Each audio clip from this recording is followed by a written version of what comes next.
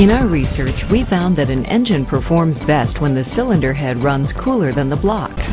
Now, in a conventional engine, of course, the temperature of the head and the block are always the same, but not with Honda's exclusive three-way cooling system. Take a look. The 150 and 135 have two thermostats and three separate cooling circuits to keep the block running slightly hotter for power, while the cylinder head stays cooler to prevent damage due to knock or pre-ignition. A third cooling circuit allows the exhaust manifold to run cooler. The result? More horsepower for the displacement and more long-term durability. A combination you can't beat.